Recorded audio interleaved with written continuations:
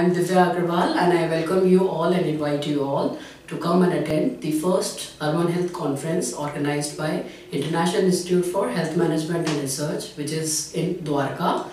And uh, one of the thematic area which we are going to discuss in the conference is with respect to the serious issue in the health sector that is the uh, shortage of the manpower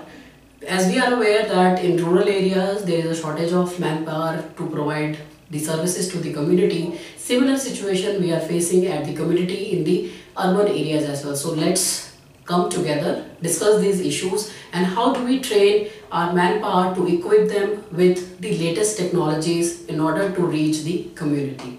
I welcome you